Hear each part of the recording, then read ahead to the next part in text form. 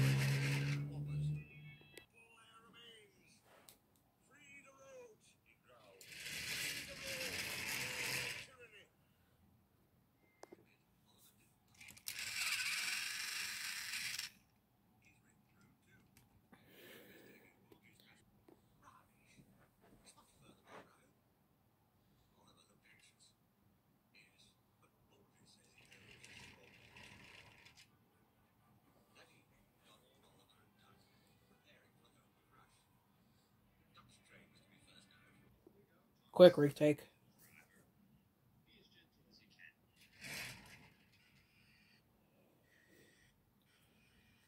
Okay, retake.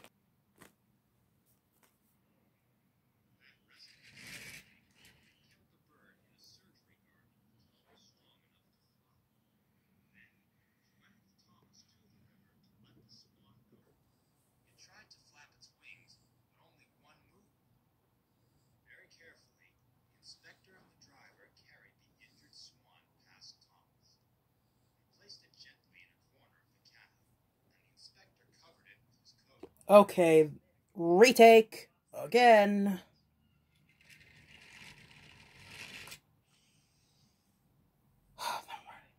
All right. You know the drill.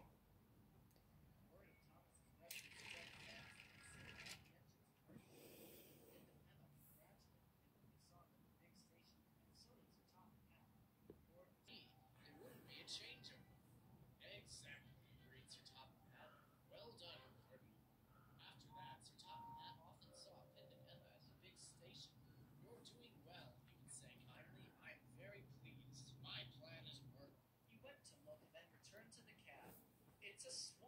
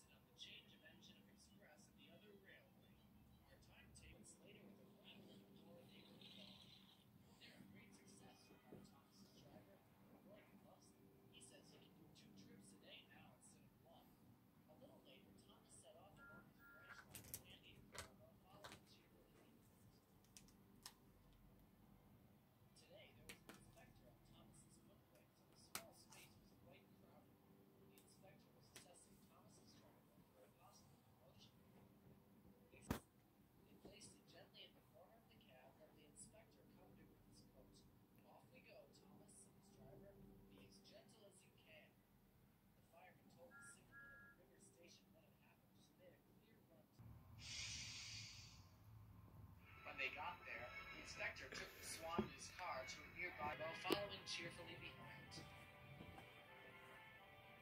Today, there was an inspector on Thomas's footplate, so the small space was quite crowded.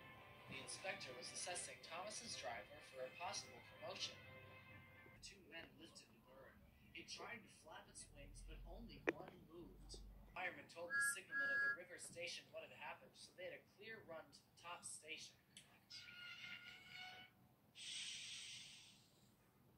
They got there, the inspector took the swan in his car to a nearby vet. The vet rested the broken wing and kept the bird in his surgery garden until it was strong enough to fly. Today, there was an inspector on Thomas's footplate, so the small space was quite crowded. The inspector was assessing Thomas's driver for a possible promotion. They stopped at the station by the river so Thomas could take on water. While they waited, they saw something Newspaper, I expect, said his driver. Come on. Just then, Thomas saw a white neck uncurl and a yellow beak appear. When they got there, the inspector took the swan in his car to a nearby vet. The vet rested the broken wing and kept the bird in surgery